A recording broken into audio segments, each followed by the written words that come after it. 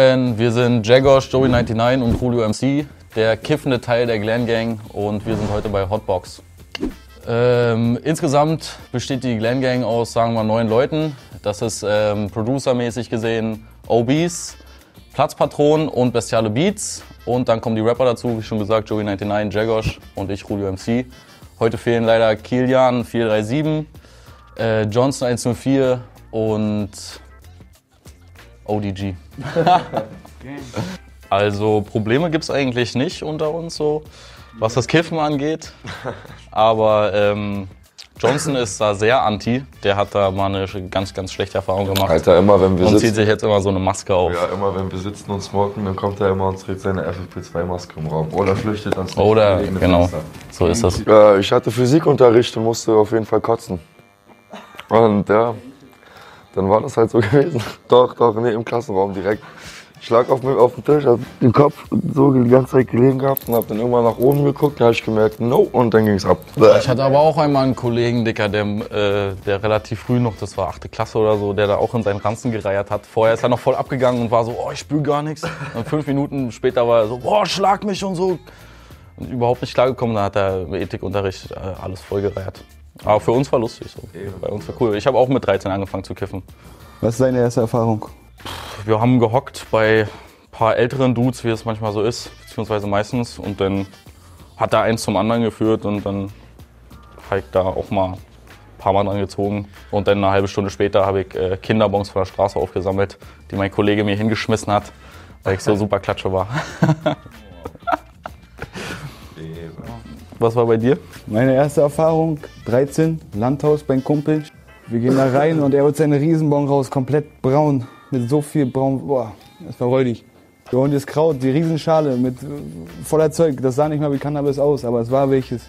So ein Teil, stopfen uns die Köpfe da rein, plötzlich rein, geht an die Schublade unter dem Ott und holt eine Strap-on-Dildo von den Eltern und eine Doppeldildo raus und fängt an zu peitschen. Oh. Schau Shoutout. Gang. ja, das war meine erste Erfahrung. Mir ging's gut. Danach. Viele erste Erfahrungen auf einmal gemacht. Ja, ja. Also ich habe hier so einen Leckerschmecker. Das ist Cherry Punch. Ist auf jeden Fall eine Kuschsorte. Und ist auf jeden Fall was sehr Schönes, ne? Eher so gerne so Richtung Kuschen, normales. So schöne Sachen einfach, die gut schmecken. Ähm, ich habe früher gerne viel Haze geraucht, aber es ist halt so diese Klatsche Fettness einfach, da habe ich nicht unbedingt mehr den Turn drauf. Also bei mir wird geraucht, was auf den Tisch kommt. Ja, pff, come on, jetzt, also so ein Hecke-Shit oder so Schuhcreme-Hasch muss ich mir auch nicht geben, aber ansonsten kommt schon weg, bei mir kommt nichts um, sagen wir mal so. Also ich habe zum Beispiel viel natürlich immer draußen gekifft, weil man es ja von zu Hause verstecken musste. So. Ist ja klar, in jungen Jahren. Ne? Oh, hoppala. Ähm, ich habe viel heimlich zum Beispiel am Fenster immer abends nachts geraucht, wenn mein Dad schon geschlafen hat. Hab ich immer aus dem Fenster rausgelehnt und dann halt immer abgesmoked und sonst halt immer draußen. Das war halt irgendwie schon mal normal. So. Wir haben halt uns halt getroffen, geguckt, wo man halt was kehren kann damals, so mit 13, 14, 15 so. Dann hat man sich halt, weiß ich nicht, seine 10er, 20 damals immer geholt und dann hat man die halt gesmoked so. Ja, same shit. Also bei mir war vor der Schule erste Pause, zweite Pause nach der Schule. Kurz nach Hause, Katze füttern und dann schnell wieder abgehauen und dann so weitergemacht. Ja, Arnold, rest in peace, Alter. Beste weibliche Katze, die man haben konnte. war weiblich und hieß Arnold? Du gerade geschwein. Das war, das war die stärkste Katze im, im ganzen Wurf und dann haben, haben die sich gedacht, die muss jetzt Arnold heißen, so nach Arnold Schwarzenegger mäßig. 17 oder sowas, also so vier Jahre später hat es dann bei mir angefangen. Vorher war ich eigentlich immer chill und habe das so ein bisschen mit rausgehen und äh, rumlungern verbunden und dann irgendwann, als man dann nicht mehr so richtig einschlafen konnte oder nicht geraucht hat, dann hat man das halt auch mal alleine gemacht. Also ich rauche zum Beispiel am liebsten eigentlich mit Tipp, ganz normal. Natürlich auch mit Aktivkohlefilter, ist auch mal ganz gut. Ähm, ja, auf jeden Fall weniger, ganz wenig Tabak auf jeden Fall. Ich mache da äh, keine Abstriche. Mein Pape kann ganz bleiben. Bisschen mehr Tabak kann bei mir auch rein, kann man ein bisschen länger rauchen. Bisschen besser einschätzen, wenn man, wenn man keinen Bock mehr hat. Ich habe mir neulich äh, von Osama hier die Folge von euch angeschaut. Der hat ja auch gesagt, irgendwie, dass er den dann erstmal zur Hälfte raucht und dann so liegen lässt und so ein bisschen Fernsehen guckt. So ist es bei mir auch auf jeden Fall. Naja, also wir können ja, wir können ja mal vergleichen so. Ich würde sagen, äh, wir können alle schon Normal bauen. Dubis bauen, die stehen. Also ich weiß nicht. Nein. Funktioniert aber, brennt alles. Ach, Hauptsache rauchbar oder nicht? So ist es, so ist es. Solange es schmeckt. Safe Call, Alter, da habe ich eine Story zu, Digga. Augentropfen. Pass mal auf, und zwar, ähm, wir haben ja früher auch oft am Teute abgechillt, wie äh, die Teute Records Jungs, äh, wodurch wir damals natürlich auch so ein bisschen in Kontakt mit denen getreten sind. Und ähm, damals am Teutoburger Platz, als, äh, als da noch der Kaiser stand, Kaisers Tengelmann, hat PTK da gearbeitet, Tatsache. Hier aus dem, ähm, wie heißt das, Bombenprodukt, äh, aus der Bombenprodukt-Crew. Und ähm, wir waren einmal so klatsche und haben so fertig ausgesehen, dass der uns dann Tatsache im Laden angesprochen hat, ey Jungs, kennt ihr Prokolin oder sowas? Und der hat uns das dann empfohlen und dann haben wir uns das geholt und gecheckt, das funktioniert und so. Natürlich hat das ja auch nur, die, hat auch nur das erste halbe Jahr funktioniert, dann hat es irgendwie nicht mehr gebracht. Aber ja, damals hat man das ab und zu mal gemacht natürlich. Man wollte ja seinen Eltern dann doch nicht zu viele Sorgen bereiten und so weiter. Für die Schule ist auch praktisch. Nicht in der Schule kiffen. Also es war ja, früher war ja Prenzlauer Berg so ein, so ein Arbeiterviertel gewesen, wo halt ja ganzen Arbeiter halt, war aus Berlin halt, dass Arbeiter gewohnt hatten und ähm, halt waren ja damals die Wohnungen, viel Wohnraum, sag ich mal, also viel gespart und so. Da Mit diesen Außentoiletten auch zum Beispiel, dass man halt viele Leute in den Wohnungen unterbringen kann. Bei uns, ja, bei meinen Eltern im Haus, haben die Leute auch noch Außentoiletten auf jeden Fall, teilweise. Zum Beispiel sein Haus außen mit fünf, wie viele Hinterhöfe habt ihr? Vier oder fünf Stück? War? Vier. Ja, Mann, und das waren halt alles, ja, wenn halt überall Berliner wohnen, natürlich ist halt auch viel mit diesen ganzen Gentrifizierungskacken und sowas alles.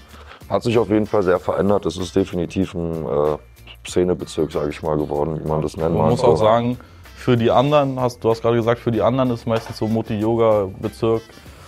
Für uns ist ja am allerschlimmsten so, wenn du halt damit aufwächst, dass es eigentlich noch chillig ist und dann musst du irgendwie damit klarkommen, dass du nach fünf Jahren aus der Tür rauskommst und dann hast du da erstmal 2000 Touris vor der Nase. Das ist natürlich auch, sind wir am Ende die, die gefickt sind, ja. Aber pff, keine Ahnung, man, man kommt ja miteinander klar, es sind auch alles nette Menschen. Natürlich sind wir die Retter des Paybacks, was den Hip-Hop angeht. Obwohl wir natürlich auch schöne Vorreiter haben, die besten überhaupt. MXM und Pavel, MC Bomber, wen noch? Da gibt's einige, Alter. Generell auch Teute Records ja mit im Bunde. Oh ja, Alle mit im Bunde und äh, Samo 104 auch äh, für mich einer der, wenn man das, wenn man das dann so weiter fortführen will, safe einer, der dazugehört zu den Rettern des Paybacks. Ähm, und ja, können wir jetzt eine ganze Liste aufzählen, aber das sind so die Main Character. Also MXM und Pavel, MC Bomber, äh, Tiger 104er, Shoutout, generell die ganzen Nordachse-Leute. Ähm, auf jeden Fall die Vorreiter für uns und die, die das auch stark geprägt haben, diese Hip-Hop-Szene in Prenzlauer Berg, würde ich sagen. Ja, also ich kann was ganz Witziges erzählen. Also ein Kumpel von mir, der malt auch Graffiti so, der heißt Und das ist mir persönlich nicht passiert, das ist halt ihm passiert. Der hat damals, äh, wollte er was bei einem Kumpel klären. Also über einen Kumpel irgendwie, ich weiß nicht mehr genau. Und wie alt waren wir denn da? Er war so 14 oder so 15 damals gewesen. Und dann hat er sich halt mit dem getroffen, die haben halt so schnell Abcheck einfach gemacht. Und dann ist mein Kumpel nach Hause gegangen und hat halt einfach Brot da drin gehabt. Also schon eine miese Nummer, Alter. Ja, Halt auf Kopf genommen. ja, aber sowas ist auf jeden Fall schon ein paar Mal passiert. Ich habe auch einen Kollegen, Shoutout, Alter, beziehungsweise einen alten Bekannten. Und der hat sich auf jeden Fall das ein oder andere Mal Laub andrehen lassen, so. Aber, ja, keine Ahnung, also. Ich weiß nicht, wenn du anfängst zu kiffen, wirst du natürlich auch mal finesse, so, aber in letzter Zeit sind da die Kontakte eigentlich so, dass man sich da keine Gedanken machen muss. Oh ja. Digga, neulich, ich hatte vor drei Wochen meine letzte Panikattacke, ich schwöre. Kein Spaß mehr. Passt auf, wie viel ihr raucht, Alter, vor allem wenn ihr auch irgendwie Herzkasper oder sowas manchmal habt. Oder generell psychische Probleme oder so, dann immer mit Vorsicht genießen, auf jeden Fall. Also ich bin jetzt ein bisschen, hab jetzt auf jeden Fall deutlich runtergeschraubt in letzter Zeit so. Also, keine Ahnung, ich bin zum Beispiel so, dass ich viel, also öfters auch mal smoke, wenn ich so abends halt meinen ganzen Scheiß gemacht habe, so wenn ich fertig bin mit einem. So quasi wie manche Feierabendbierchen trinken oder so, rauche ich dann quasi dann mal einen Feierabendjoint einfach zu Hause. Gibt es natürlich aber auch Tage, da raucht man natürlich mehr, auch tagsüber und so, aber es ja, muss sich halt jeder irgendwie selber drüber im Klaren sein, so, solange man halt seine Scheiße geregelt bekommt und so, so kann dir eigentlich nichts im Weg stehen, so, dann ist ja immer dein eigenes Ding so. Also ich kiff nicht vor der Arbeit auf jeden Fall. Vor der Arbeit nicht kiffen. Wenn ich mich mit Leuten treffe, mit denen ich mich so ordentlich unterhalten will, die selber nicht rauchen, dann davor auf jeden Fall auch nicht kiffen. Sprich Eltern, Geschwister oder so. Ansonsten ab auf die Couch und bin damit, Alter. Mäßig wichtig, Tatsache. Früher haben wir viel gemacht, wenn wir voll raus waren. Wir haben auch äh, schon ein paar, in ein paar verschiedenen Studios jetzt gearbeitet, beziehungsweise sind ein paar Mal umgezogen. Und ähm, hatten da mit vielen anderen Künstlern zu tun, die ja bekanntermaßen auch immer ein bisschen crazy unterwegs sind. So. Und ähm, ja, keine Ahnung, also dadurch haben wir dann schon wilde Sessions gehabt, teilweise so anderthalb Tage durch, voll auf Pep und Alk und was weiß ich, Alter. Aber jetzt mittlerweile treffen wir uns, dann rauchen wir ein, trinken zwei Bierchen und dann läuft das eigentlich. Also da kann man jetzt nicht so wirklich vom Pegel sprechen. Das ist dann mehr so eine, so eine solide Gelassenheit, die man sich da rein konsumiert. Also es kommt halt immer drauf an, ne? Also jetzt nicht immer unbedingt. Also ich muss jetzt nicht immer, wenn ich trinke oder so, äh, wenn ich jetzt rauche, meine ich, muss ich nicht immer dabei trinken oder andersrum genauso. Aber pff, jeder wie er Bock hat so. Ich mach die Scheiße nicht auf jeden Fall. Scheiß darauf. Ich muss mich nicht rausstellen. Wenn ich saufen will, will ich saufen. Wenn ich kiffen will, will ich chillen. Was soll ich machen? Also bei mir ist immer volle Möhre. Volle Möhre, gebe ihm alles, was da ist, wenn es denn drauf ankommt. Also ich bin jetzt auch nicht mehr so oft so wild unterwegs, aber wenn dann richtig auf jeden Fall. Wurde da noch nie so richtig erwischt. Vielleicht haben, sind ein, zweimal welche vorbeigefahren, haben mir gesagt, mach den Joint aus, du Lausbub. Aber ansonsten Boah, ich habe einmal dieses, was die immer diese Spätis haben, so irgendein Kumpel von mir hat es auch mal gekauft. Für so einen Zehner halt, halt dieses Zeug. Und das war auf jeden Fall echt richtig ekelhaft. Es hat richtig scheiße gerochen und hat richtig scheiße geschmeckt. Und ich glaube eh, wenn du Kiffer bist, wenn du jeden Tag kiffst, so, dann, ich weiß nicht, ob das so viel Nutzen dann für dich hat. Gibt natürlich bestimmt Leute, denen es helfen kann irgendwie, aber ich glaube, wenn du jeden Tag high bist, so, dann macht das, glaube ich, nichts mit dir so. Dimitrov. Mhm. Sehr schönes Album. Glen Gang produziert bei Obis, Plattpatron und Lotus Effect. Beste Jungs, ich danke euch dafür. Modem ist auch dabei. Modem ist auch dabei. Danke dafür, hast recht. Für immer bester Track. Was kann man noch über dieses Album sagen? Dicker, hört einfach rein, Alter. Ist echt nicht so schwer. Geht auf Spotify, checkt den Scheiß. Und wenn es euch gefällt, dann äh, folgt uns und so ein Shit. Das war Glen Gang 030 bei Hotbox. Äh, es hat uns sehr gut gefallen. Äh, checkt unsere Mucke aus. Lasst Liebe da. Und äh, bis dahin.